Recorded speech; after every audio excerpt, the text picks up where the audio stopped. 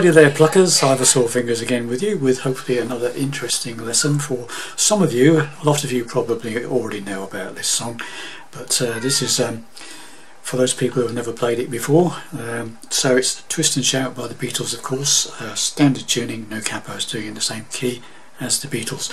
Now there are different ways of playing this uh, so uh, we'll just discuss a few options for you. Um, so the actual uh, obviously it's played on more than one guitar so it's not going to sound quite the same. But what I was doing there was basically I was playing the lead up to the chord and it's very simple. Open at A string second on the fifth string fourth on the fifth string. And then I'm hitting the D string open and then the D chord okay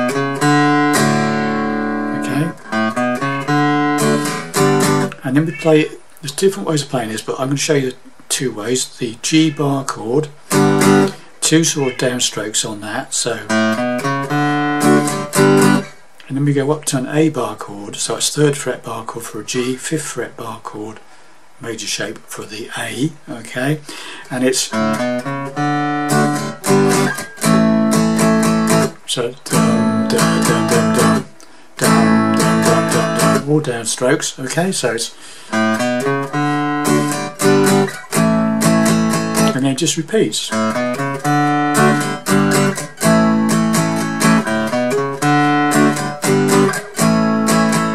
Okay? So that's using bar chords. I know some people use a bar chord for the D as well but um, I'm trying to make it as simple as I can okay? So um, the other way obviously is to play like normal open chords, okay, same thing to start with. And then two strokes on the G, either three fingers or four finger G, okay. Doubling up on the uh, top two strings on the third fret there with the uh, pinky and third finger. Or you can just play a straightforward G, three finger G, okay. So, and then an A chord like that straightforward A chord or you could play a lazy A like that just barring the second fret or the fourth, third and second strings with your first finger. Five down to uh, two really. Like that sort of thing. So you could do it like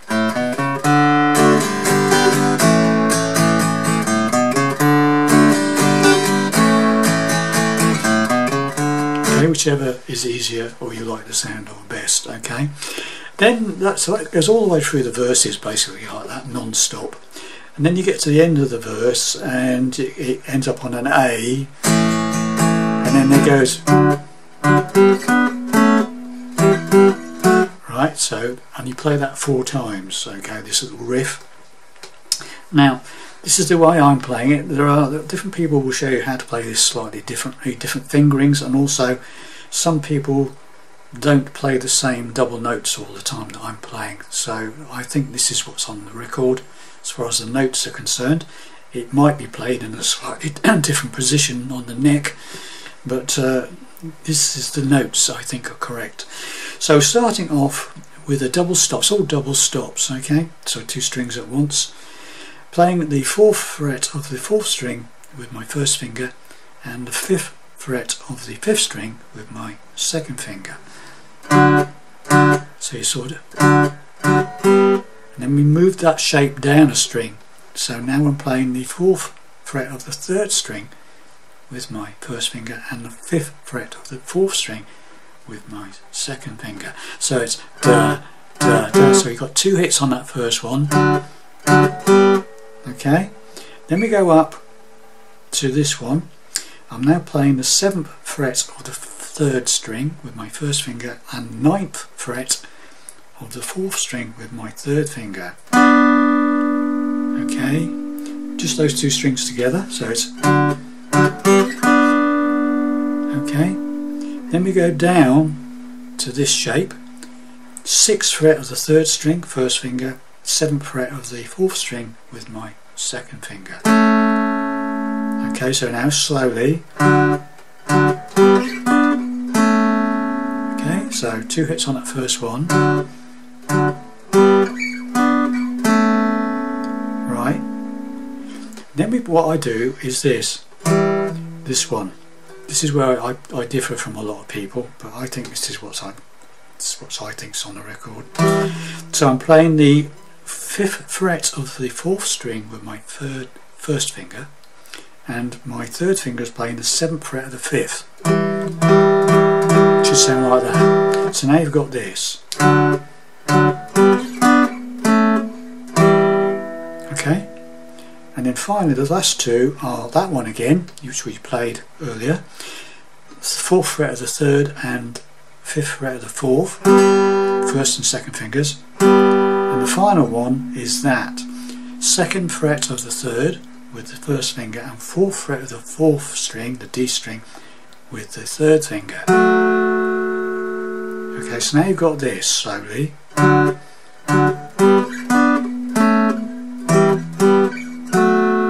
then that just repeats the whole thing four times, okay? So slowly.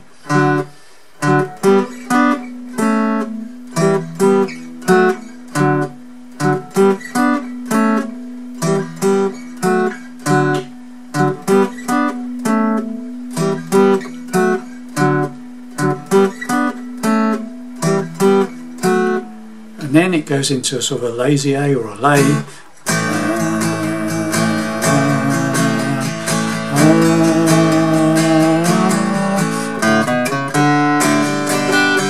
Back into the main verse riff again, okay.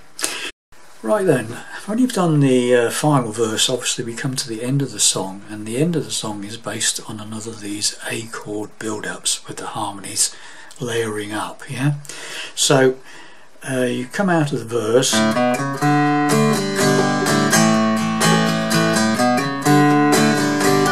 Stay on the A and then ah, ah,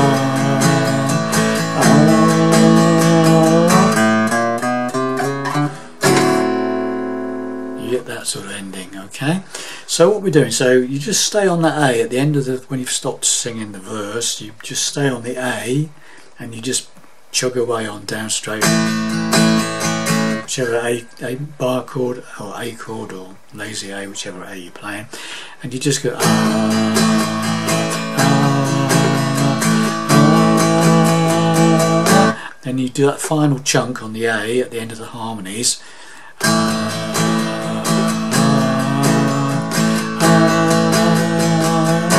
Through a very small pause and then it's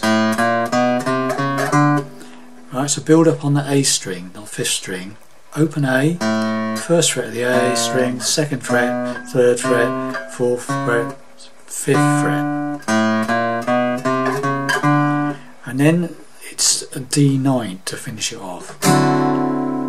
Um, if you want, you can do that three times, that D9, or you can do it once, just like once, or you can go sort of thing, whichever way you like to finish, okay? But the D ninth itself, I'm playing the top three strings as a bar with my third finger on the fifth fret. The first finger is playing the fourth fret of the D string, the fourth string, and my second finger is playing the fifth fret of the A string, the fifth string. That's the simple way of playing the D ninth, okay? If you want to get more completely slightly fuller sound, you can bring in the bottom E string into the equation and by putting this second finger on the fifth string bottom and the sixth string. So what I'm tending to do there is I'm, I'm pressing down the sixth string at the fifth fret bottom E string leaning, leaning in my second finger so it, it frets the fifth string on the fifth fret as well it's not easy to do, but you can, with a bit of practice, get there. All six strings. If you can't manage that, just do the first five strings and play from five downwards, okay? No one will know. But that is all six strings by putting that second finger up on the bottom E string, fifth fret, leaning it inwards and hopefully fretting the fifth string at the fifth fret also. But if not, just play the first five strings, okay. So there you have it boys and girls, my uh, tips for playing uh, Twist and Shout by the Beatles. Okay, um, uh, so hopefully uh, some use to some of you. Probably not all of you, but some of you hopefully. See you in the next lesson. Bye for now.